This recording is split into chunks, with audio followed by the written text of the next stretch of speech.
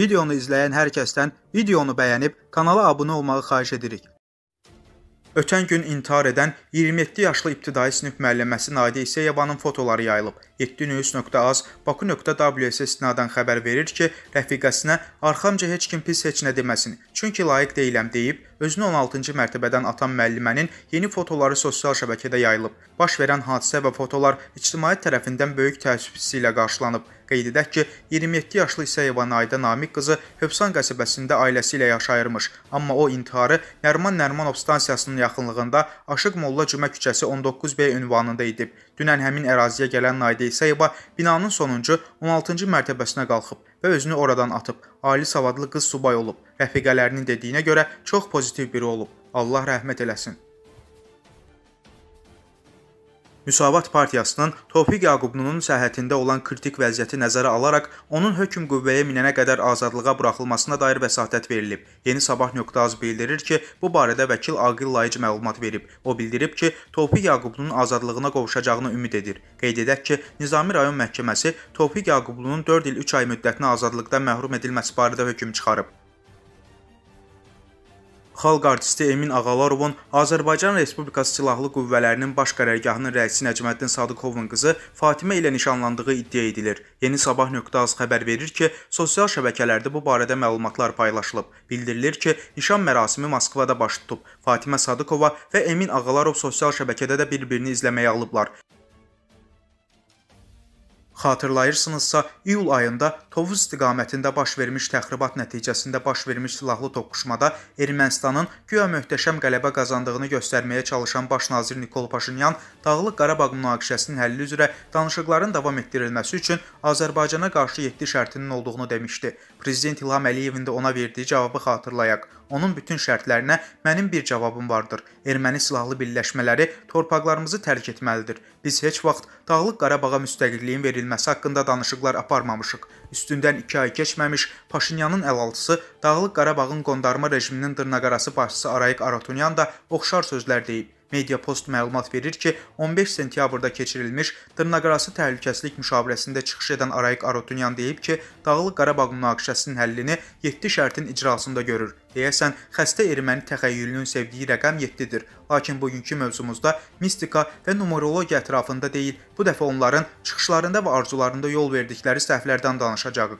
İlk növbədə qeyd etmək lazımdır ki, keçirilmiş müşavirə əvvəlkilərindən fərqlidir. Fərq isə ondadır ki, indiyədək bu kimi müşavirələr Ermənistan Dağlıq Qarabağ formatında keçirilirdi. Buna görə də bununla iki ölkənin vahid olduğunu təqdim etməyə səy göstərirdilər. Onlar Dağlıq Qarabağın Ermənistandan asılı olduğunu hamıya nümayiş etdirməyə çalışırdılar. Lakin göründüyü kimi aralarında qara pişik qaçdı. Bu da Ermənistanla qondarma rejimin rəhbərləri arasında uçurumu üzə çıxartdı. Arayik Aratunyanın iclasın açılışında dediyi sözlər də diqqət cəlb edir. Ölkə rəhbəri kimi mən öz səlahiyyətlərimi tam olaraq icra edirəm. O bununla demək istəyir ki, Nikol Paşinyan, mən sənə tabe deyiləm. Qondarma rejimin başçısı çıxışında deyib ki, əsas missiyası həm yerli əhalinin, həm də bütün dünya ermənilərinin təhlükəsizliyini təmin etməkdir. Qeyd edək ki, bu fikirlər də yeni deyil. Sentyabrın 4-də Moskvada keçirilmiş MDB dövlətlərinin müdafiə nazirlərinin görüşündə Ermənistan müdafiə naziri David Tanayan da bu sözləri demişdi. Görünür, məhdud dövlət büdcəsi separatçı rejimin rəhbərliyinə çıxışlarının yazılması üçün əlavə ştatın saxlanmasına imkan vermir ki, hamısının çıxışlarını bir nəfər yazır.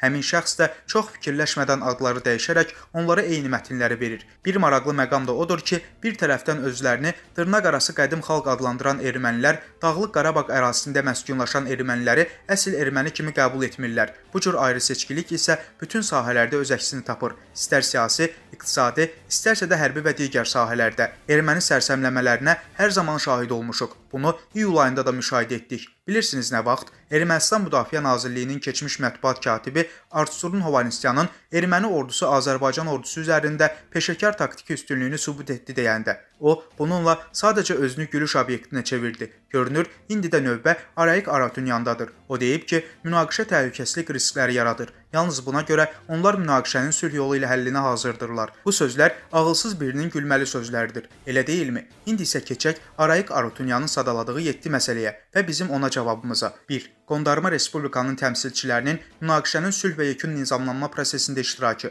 Cavabımız: Hələ iyul ayında prezident İlham Əliyev bu dırnaqarası şərtə açıq-aydın cavab verib. Qarabağ separatçılarını heç kəs tanımır. O cümlədən Ermənistanın özü. Bacarırlarsa tanısınlar, tanımırlarsa deməli qorxurlar. Ölkə rəhbərimiz tam və dolğun cavab verib. Hesab edirik ki, münaqişənin sülh və yekun nizamlanması ilə bağlı təkliflər qeyri-real və absurddur. Çünki Azərbaycan əzəli torpaqlarında yaranmış Ermənistana ərazilərimizdə ikinci erməni dövlətini yaratmağa imkan verməyəcək. Separatçılıq cəzalandırılmalıdır və cəzalandırılacaq. Qeyd edək ki, Azərbaycan Dağlıq Qarabağın hər iki icmasının danışıqlar prosesində iştirakına həmişə tərəfdar olub. 2. Qondarma Respublikanın suverenliyi, müstəqilliyi, ərazi bütövlüyü və təhlükəsizliyi heç bir şərt altında təhdid edilməməli və sövdə predmeti olmamalıdır. Cavabımız çox gülməli şərtdir. Belə ki, Qarabağ separatçılarının rəsmi saytında Dırnaqarası Respublikanın ərazisi barədə 12493 kvadrat kilometr təşkil edir. Bunun 1041 kvadrat kilometri Azərbaycanın işğal altındadır yazılıb. Təbii ki, bu rəqəmlər reallığı əks etdirmir. Belə ki, təkcə Dağlıq Qarabağ və Şuşanın ərazisi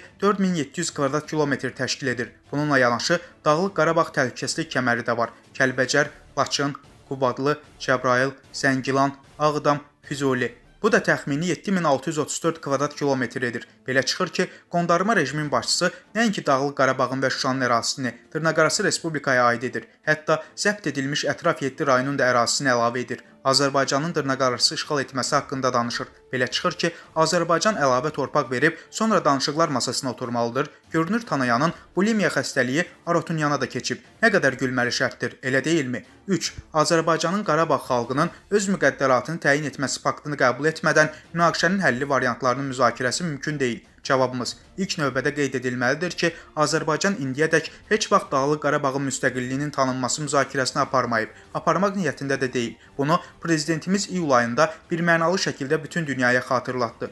Tutalım Azərbaycan separatçı rejimi müstəqilliyini tanıdı. O zaman danışıqların predmeti nə olacaq? Tapılsa, onda Aratunyanın dırnaqarası ikinci şərti öz mənasını itirir. Çünki orada separatçılar tərəfindən heç bir ərazinin güzəştə gedilməməsi barəsində danışılıb. 4. Güc tətbiqi və ya güclə hədələmələrə son qoyulmalıdır. Əks təqdirdə Qarabağ Azərbaycana zərbə vuraraq döyüşləri Azərbaycan ərazisinə keçirəcək. Cavabımız silahlı təcavüz vasitəsilə separatçılıq nəticəsində BMT tərəfindən tanınan bir ölkə ərazisindən özbaşına ayrılmış separatçıların və havadarlarının sayəsində 30 ildir ki, silahlı münaqişənin daim canlandırılması, münaqişənin 30 ildir ki, həll olunmaması fonunda hansı tələblərdən danışırlar? Arutunyanın Azərbaycanda 1 milyondan çox qaçqın və məcburi köçkün olması yadından çıxıb, yəqin xəbərsizdir ki, Azərbaycanlıların öz əzəli torpaqlarına getmək imkanları yoxdur. Arutunyan həqiqətənmi belə düşünür ki, öz doğma torpaqlarından didərgin düşmüş Azərbaycan xalqı bu şərtləri qəbul edərək zəruri gücün tətbiqindən imtina edəcək. 5.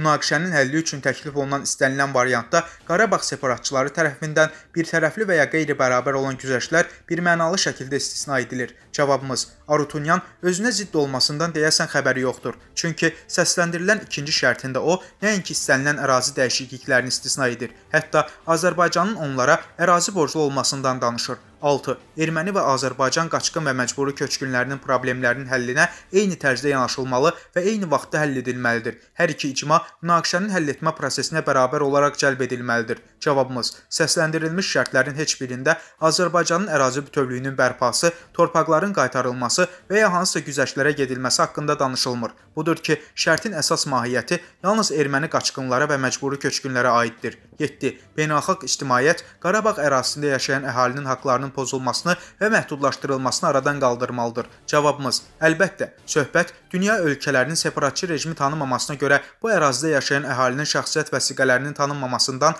və buna görə də onlara Dağlıq Qarabağ vətəndaşı kimi öz sərhədlərindən keçməyə icazə verməməsindən gedir. Maraqlısı odur ki, Arutunyan bunu Azərbaycanın bundan istifadə edərək onlara təzyiq göstərməsi kimi qələmə verməyə çalışır. Görünür, dırnaqarası 1915-ci il erməni soyqırımı məsələsindəki kimi söhbət yalnız puldan gedir. Heç kəsə sir deyil ki, dırnaqarası soyqırımın tanınmasının arxasında Türkiyədən böyük miqdarda pul tələbi dayanır. Görünür, dırnaqarası 1915-ci il erməni soyqırımı məsələsindəki kimi söhbət yalnız puldan gedir. Heç kəsə sir deyil ki, dırnaqarası soyqırımın tanınmasının arxasında Türkiyədən böyük miqdarda pul tələbi dayanır. Burada da separatçı rejimin tanınmasından dərhal sonrakı tələbi maliyyə dəstəyinin istənməsi olacaq. Arutunyan bir vacib məsələni yadından çıxarıb. Azərbaycan müstəqilliyini qazandıqdan sonra o üz tutduğu dünya birliyi Azərbaycanı məhz mövcud sərhədlərdə tanıyıb. Gördüyünüz kimi yeni bir şey yoxdur. Ənənəvi olaraq ermənilər özlərini dünyaya yazıq və başı bəlalı, uzun müddətdir əziyyət çəkən millət kimi təqdim etməyə çalışırlar. Sözün düzü,